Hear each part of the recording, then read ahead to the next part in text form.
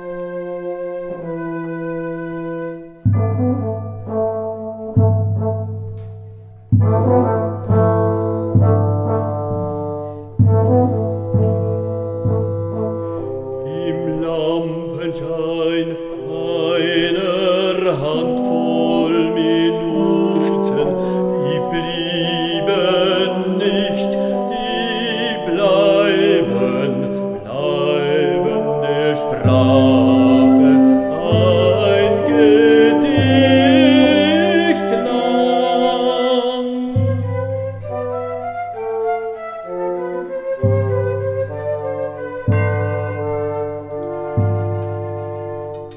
So du mir in den Farben im Schwarzen,